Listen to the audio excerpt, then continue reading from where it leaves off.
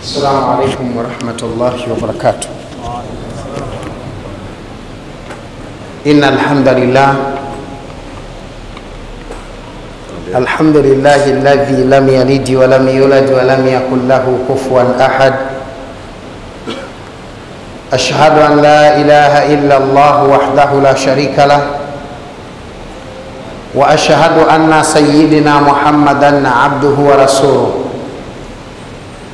اللهم صل على محمد وعلى آل محمد كما صليت على إبراهيم وعلى آل إبراهيم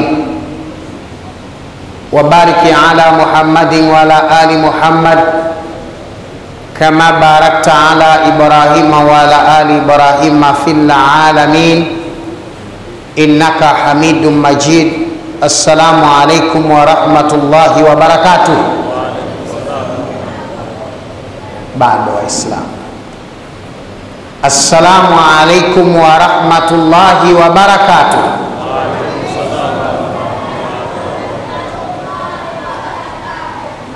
Mi nadhani haya tungewakumbusha walio nje ya msikiti kwamba kutoa salamu ni suna na kupokea salamu ni wajibu. Maneno haya ingefaa tuwaambie walio nje ya msikiti.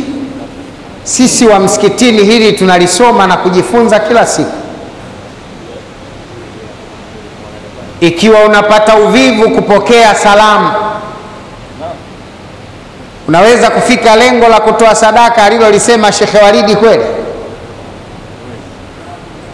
Ikiwa kupokea salamu tu unapata uvivu, vipi kuilazimisha nafsi yako kutoa ulichonacho kwa ajili ya Mwenyezi Mungu?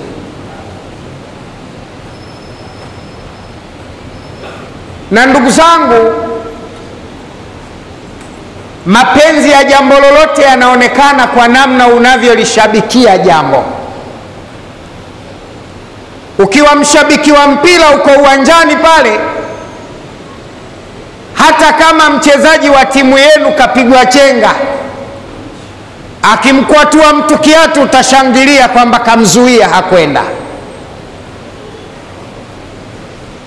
Sasa kama nafsi yako inafikia mahali inafurahia kushabikia, kushangilia na kupiga kelele dakika tisini za mpira, vipi nafsi yako isipende kushangilia na kufurahia jambo la Mwenyezi Mungu? Manake mpaka tumeingia hapa msikitini, tunatoka majumbani lengo la msingi tumekuja kutekeleza amri ya Allah subhanahu wa ta'ala ya ibada ya swala, na kila kitakachofanyika hapa ndani kwetu ni ibada. Tunatakiwa tukifanye kwa furaha kubwa. Ndugu zangu, nina mambo kama mawili hivi napenda kuzungumza na kushea nanyi.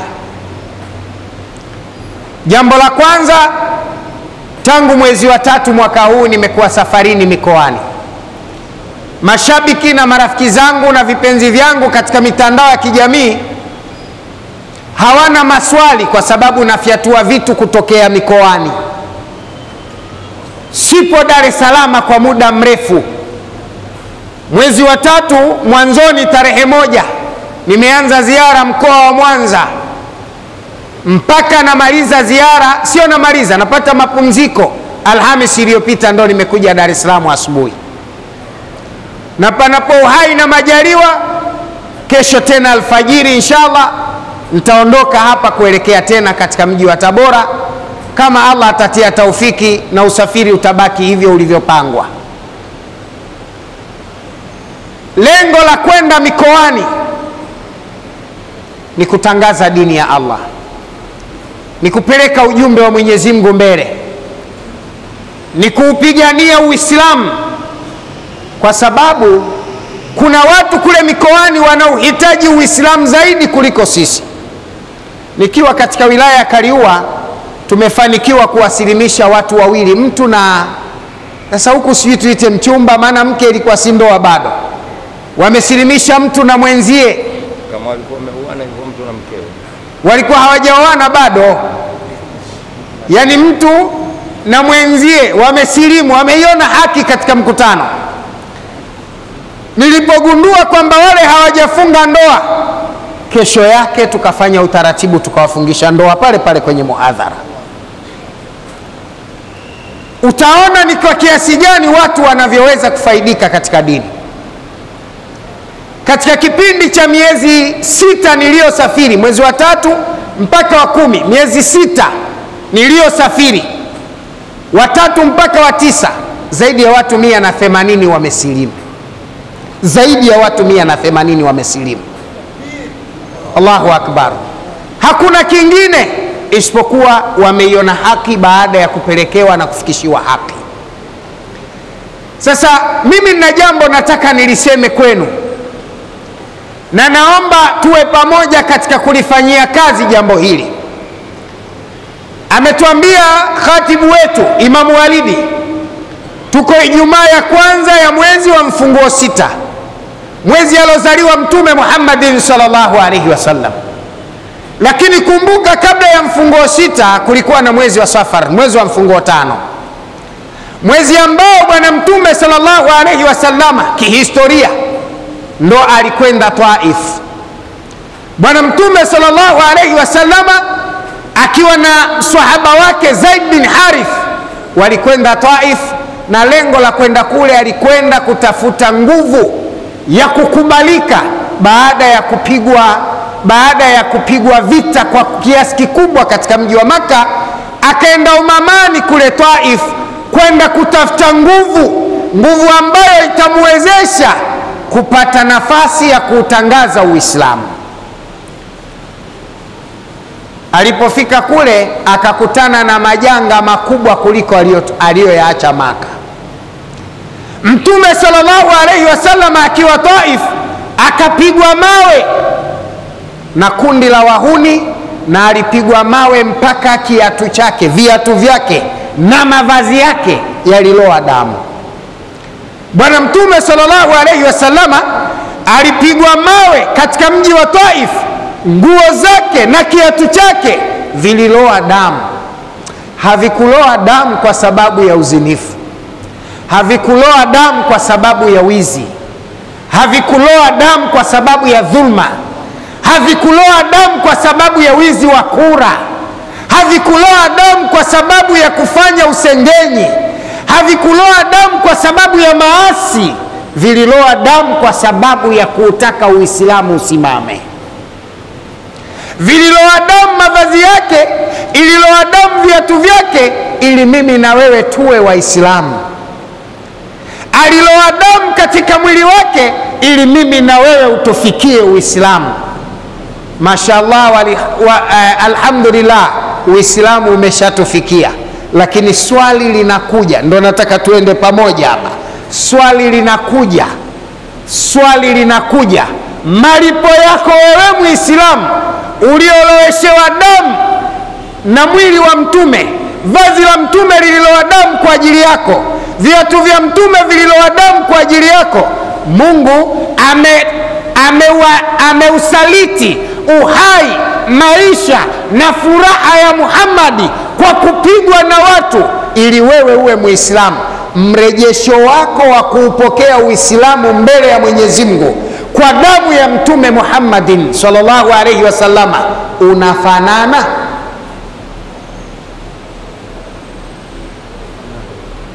Yani mrejesho wako wa imani, mrejesho wako wa dini jitihada yako ya kujiimarisha katika dini kwa kuthamini damu ya mtume iliyomwajika kwa ajili yako. Hebu niambie, thamani na jitihada za dini unazozifanya zinalingana kulipa damu ya mtume Muhammadin sallallahu alaihi wasallam iliyomwagwa kwa sababu ya wewe kuwa Muislamu? Yani ikitokea Mungu anataka kukujua, anataka kukuona, anataka kukupima kwa vitendo vyako, kwa thamani ya damu ya mtume, vinafanana?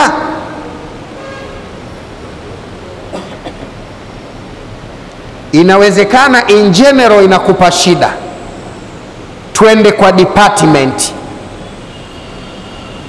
Hofu yako mbele ya Mwenyezi Mungu juu ya maasi inafanana na mbolea ya jasho na damu la mtume kumwagika kwa ajili ya wewe kuwa Muislamu. Yani ile hofu, sikwambii ibada, ile hofu tu kwamba unamhofu Mungu kiasi ambacho Mtume kakataza maasi na kaamrisha mema kutoka kwa Allah.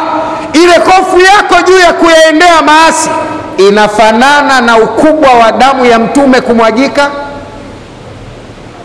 Bali insanu ala nafsihi basira, nafsi yako inajua hapo kwa sababu yako maasi mengi umeyaendea huku, unajua kwamba hili nalifanya dhambi, na unafanya wala huna mpango wa kusema utatubia, na umeshafanya na mengine hujatubia, na mengine umefanya usiku wa kuamkia leo na kuja hapa, mengine umefanya wiki hii baada ya Ijumaa iliyopita.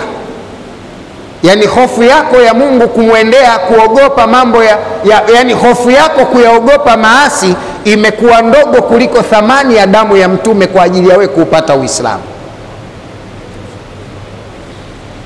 Ukiacha general hofu ya Mungu, tuende kwa department nyingine.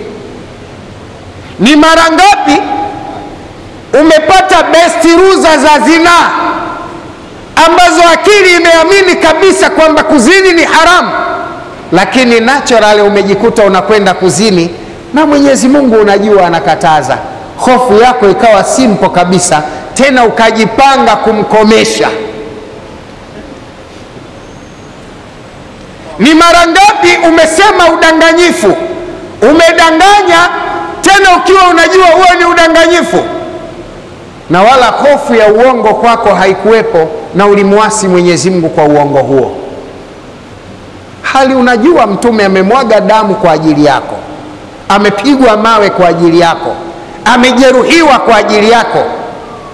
Mtume saa salam katika vita vya, vya Uhudi amepigwa meno yake mpaka akavunjika meno, mpaka akavunjika meno. Malipo yako katika kuvunjika meno, Mtume, juu ya kuwa wewe na mimi kuwa Waislamu, malipo yako yanafanana na thamani ya kung'oka Mtume meno yake kwa ajili ya Uislamu wako. Yani unautendea haki Uislamu wako mpaka kiasi Mtume kile kitendo cha kung'oka meno kwake akawa mmoja wa watu watakaokudhamini siku ya Kiyama kwamba jitihada alifanya, anafaa kwenda na mimi mbinguni, anafaa kwenda na mimi peponi. Hivi katika hali ya kawaida, ukijithaminisha ibada zako, matendo yako, hofu yako ya Mungu, kuacha maasi kwako, umejitahidi kumridhisha Mwenyezi Mungu kiasi Mtume anaweza kuwa mdhamini wa matendo yako katika kuifuata kheri. Na ndugu zangu, katika maisha mambo mawili, katika mambo mawili ya maisha, jambo moja ni gumu zaidi kuliko la pili. Kutenda mema ni rahisi sana kuliko kuacha maasi. Kutenda mema ni rahisi sana kuliko kuacha maasi. Kundi kubwa la watu wanashindwa kwenye uchamungu kwa sababu ya kujizuia na maasi. Kufanya mema, yani ukimuuliza mtu kafanya jema gani wiki nzima, huwezi kuacha kukuta jema kalifanya. Lakini baya zaidi, kiwango cha mema anachofanya kinazidiwa na ukubwa wa maasi anayoyafanya. Unaweza kumkuta mtu ameswali siku tano saba mfululizo, swala zote tano, lakini amefanya dhambi inayofuta hizo swala tano zake miaka miwili nyuma. Yaani kama ni draft amekula kwa kingi, hata sita zote zinaliwa. Ni wacheza drafti wananielewa, kula kwa kingi. Kula kwa nini? Kwa kingi. Yaani unaweza kuwa una kete nyingi, lakini kwa sababu zimeliwa kwa kingi, yaani zimefutwa zote, na wewe unachofanya ni kuvuruga drafti, mwanze moja. Sasa wengi wetu katika sisi tunajitahidi kufanya mema madogo madogo, lakini tuna, ukwa, eh, tuna ukame wa kuya kujizuia na maasi, na hii ni ugonjwa mkubwa unaotuathiri. Ndugu zangu Waislamu, mimi na niwaombe tujitahidi katika kujilinda na maasi. kujilinda na madhambi. Ukifanikiwa kuizuia nafsi yako kuyaelekea madhambi, basi ni rahisi sana kuichuni nafsi yako kuielekea kheri au kufanya thawabu. Tujitahidi sana kujizuia na maasi, hili ndio litatupa nguvu. Na tunawezaje kujizuia na maasi? Tunahitaji msaada wa Mwenyezi Mungu, kwa sababu hakuna mtu anaweza kujizuia na maasi pasi na msaada wa Mwenyezi Mungu. Tunauhitaji msaada wa Mwenyezi Mungu kwa hali na mali. Sasa ili upate msaada wa Mwenyezi Mungu na upate nguzo ya Mwenyezi Mungu ya kukuzuia na maasi, ni wewe kujiegemeza karibu na Mwenyezi Mungu katika mambo ya kheri. Yeye ndio atatengeneza Mwenyezi Mungu mazingira ya kukufanyia vikwazo katika kuelekea maasi. Ukijiegemeza kwa Mungu, ziko dhambi zingine Mungu atakuepusha mwenyewe. Kuna mahala dhambi unaweza ukaepushwa na Mwenyezi Mungu pasi na akili yako kukubali. Unaweza kupanga kwenda kunywa pombe, kabla hujatoka mwanao akaumwa, ukakimbilia hospitali, utakwenda tena? Utakwenda tena? Unaweza kupanga mipango na demu, kabla muda wa kutoka ameingia katika hedhi, utakwenda tena?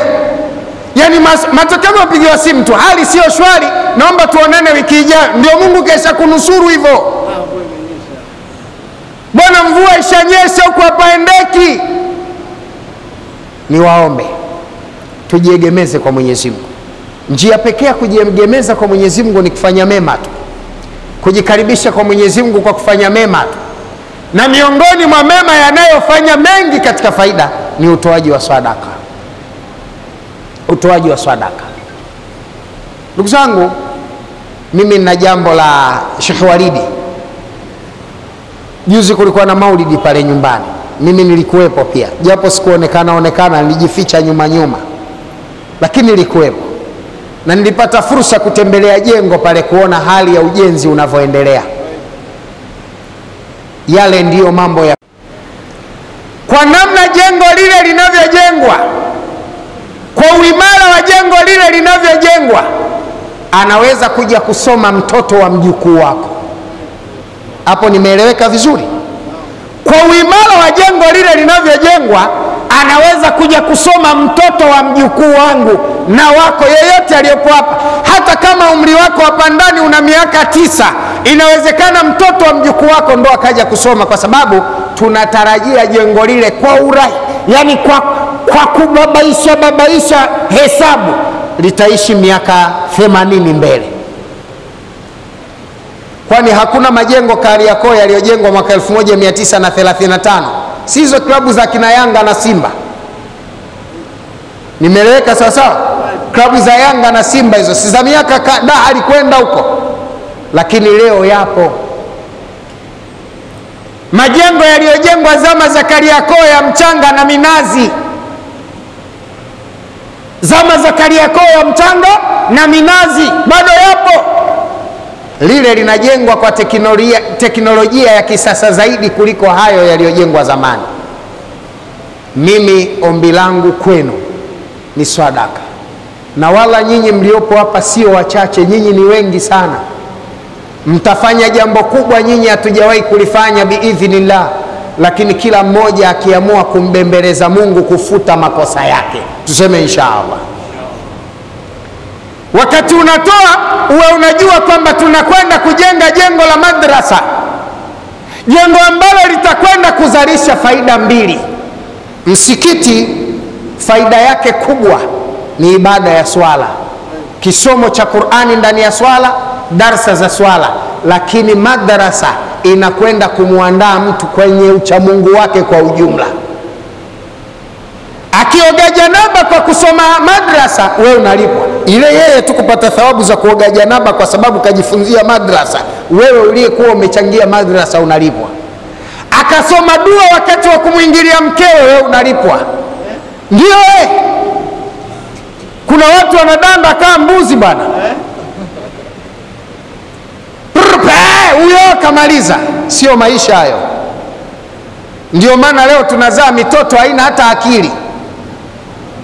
unalikuta toto linaimba nyimbo kajenda wazimu, akili zangu fyatu nateleza kama chatu wa wa wa wa, eti akili zake chatu anateleza kama cha, fya, akili zake fyatu anateleza kama chatu wa wa wa wa, ndo keshamaliza hivyo wimbo huo. Tena nawaambia wajinga wenzake, najua mistari nikiigongelea nawazidi kina Diamond wote lakini hajawahi kujiuliza tangu Tanzania imeanza Diamond wako wangapi? Mmoja tu. Sasa kama Mungu miaka yote kamtoa Diamond mmoja wa utajiri, naona atakuwa tajiri katika milioni kumi. Umefikiria vizuri? Yaani unaomba nafasi isiyowezekana. Vijana wengi wanaamini kwenye mziki watatoka, lakini tunaona mziki mpaka idadi hawana, wengine hawajulikani, wanaimba nyimbo kazi narudi nyuma lakini nakwambia mi nitapasua tu, kama sio Mondi nitapasua kama Kiba. Afu bahati mbaya vijana wa Kiislamu wengi ndo waimba mziki mashuhuri. Inna lillahi wa inna ilaihi rajiun. Kuna yule mwamba mmoja anaitwa Sumari, kile kifaa kile, Mwenyezi Mungu amrehemu yule mtu, ahbabi rasuli yule bwana, yaani yule mtu anampenda mtume mpaka imepitiliza yaani yule ndo kauacha mziki kisawasawa, yule ndo kamtafuta Allah haswa. Allah amlindie imani yake mpaka siku ya mwisho. Itikieni amina. Mbona mmekuwa wagumu? Hii atakuitikia dua nako umekuwa bakhiri. Hebu fikiria vizuri. Mimi nimenunua vipindi pale Tabora redioni nafanya vipindi kila siku, redio tatu. Redio ngapi? Tatu. Kila siku tuna kipindi. Redio ngapi? Tatu. Kuna Voice of Tabora, kuna UUFM, kuna CGFM. Kule Mpanda nimenunua Pamoja FM. Redio ngapi hizo? Nne. Kila redio tunalipa laki moja kila redio, na inarusha kipindi kila siku, inarusha kipindi kila siku. Tabora peke yake tunatumia milioni tisa kwa mwezi vipindi live. Lengo letu nini? Tuupeleke ujumbe kwa jamii. Wallahi, Wanyamwezi wanasilimu, Mungu anajua. Yaani ndio namna gani elimu ya dini inavyohitajika. Wajua vijijini mtu stare yake ni redio, TV hakuna vijijini wachache wenye TV na wakiwepo wanaangalia mambo ya kipuuzi. Basi ukipiga mada mree, unamweleza Mtume Ijumamosi na Jumapili, mtu anakuja kwenye dua anasema, mimi nilisikia yale mambo ya Muhamadi yale nimeyapenda kweli, sasa nami nataka kuwa Mwislamu, Mnasilimisha harakati za dini vijijini. Tunahitaji nguvu sana, tunahitaji ushirikiano sana wala sisemi kwamba mnipe pesa nipeleke huko huko, tayari kushakaa sawa. Nachotaka ni madrasa ile ya shekhe. Kwa nyinyi wachache mliopo hapa, tukusanye angalau milioni moja, tuseme inshallah. Kuna watu wanasema mama, watu hawa milioni moja inawezekana? Si shehe alisema leo anataka mchango ufike milioni ngapi? Moja. Na mimi nataka hiyo milioni moja tutoe sisi, iwe kwa ahadi iwe kwa kesh, lakini hapa tupate milioni moja, tuseme inshaallah. Naziona sura kumi Mwenyezi Mungu amezineemesha humu ndani, mi naziona sura kumi. yani kuna watu kumi humu ndani Mungu amewaneemesha, mi nimewaona hao watu kumi, ndio mi nataka kudili nao, wakusanye milioni moja, kila mmoja aiumize nafsi yake kumpa Mungu laki moja, iwe hapa hapa keshi, iwe ya kuweka ahadi, lakini amwambie Mungu kwamba nitatoa milioni moja. Katika nyinyi hapa, nataka watu kumi, na naziona sura kumi, na mimi nataka tumwambie Mungu kwa dua kwamba watu hawa wanaojikusuru laki moja moja zao kwa ugumu wa maisha huu uliopo, wanakupa wewe, basi Mwenyezi Mungu wape kila wanachokitaka mpaka waridhie hadi siku watakapokutana na wewe. Tuseme amin, tuseme amin, tuseme tena amin, tuseme tena amin. Kuna watu wanasema si madarueshi tunaweza sisi wewe humpendi Mungu, ndio maana unaona ngumu. Tuna Alhaji Saimu Bwao, yeye peke yake atatoa laki, hawezi kushindwa huyo. Kaanza kunipiga picha, mi mdogo, hata ndevu hana, yuko hapa ndani. Alhaji Saimu gwao. Wako Masjidi Mtolo Online TV, na mi mwenyewe nipo. Na wewe upo? Na Imamu Walidi yupo, tunaweza. Inshallah. Tusome surati Ikhlasi, kul huwallahu zile. Tusome mara tatu, sheitani humu ndani aondoke, alafu tubaki sisi na nafsi zetu. Sasa nataka nione we nafsi yako nafsi sui au nafsi yako nafsi mutumaina au nafsi yako nafsi gani? Nafsi lawama, yani nafsi yako leo nataka tuione hapa nafsi sui tutaziona hapa, zile zinazoimarisha mambo mabaya mabaya zile, yani unazo, alafu nafsi inakwambia mama, laki moja unatoa yote hiyo ya nini? Alafu kuna ile nafsi mutumaina ambazo anaamini akitoa laki amemkabidhi Mungu mkononi na hajapoteza, na hata ifikie Ijumaa, isipokuwa Mungu atamlipa mara kumi kama alivyoahidi. Alafu ziko nafsi lawama zile ambazo zinakuaga zinaingiza zinatoa, zinaingiza zinatoa, lakini hapa ataingiza na atasema wapi, Ibilisi, leo natoa, leo unipati leo. Some Ikhlasi tatu. بسم الله الرحمن الرحيم قل هو الله أحد الله الصمد لم يلد ولم يولد ولم يكن له كفوا أحد بسم الله الرحمن الرحيم قل هو الله أحد الله الصمد لم يلد ولم يولد ولم يكن له كفوا أحد بسم الله الرحمن الرحيم قل هو الله أحد الله الصمد لم يلد ولم يولد ولم يكن له كفوا أحد. تتكي دو الشام الحمد لله رب العالمين والصلاة والسلام على رسول الله صلى الله عليه وسلم. اللهم يا الله يا الله. اللهم يا رحمن يا الله. اللهم يا رحيم يا الله. اللهم يا مالك يا الله. اللهم يا قدوس يا الله. اللهم يا سلام يا الله.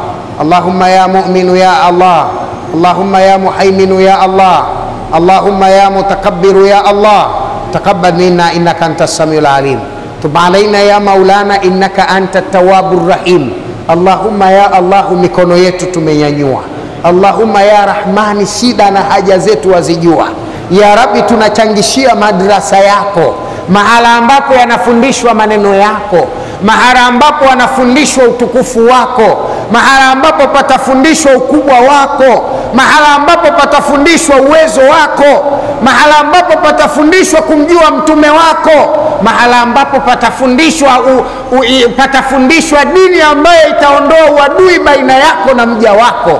Ya Rabbi, tunakuomba kwa rehema zako, kila atakayenyanyua mali yake kuitoa kwa ajili ya dini yako, Mwenyezi Mungu mnusuru kama ulivyomnusuru Nabii Allahi Nuhu katika gharika, kama ulivyomnusuru Nabii Allahi Ibrahimu katika moto, kama ulivyomhifadhi Nabii Allahi Musa na, na mikono ya, ya Firauni, kama ulivyomnusuru Nabii Allahi Isa na mikono ya Mayahudi, kama ulivyomnusuru Mtume Muhammad saa salama na mikono ya Makureishi.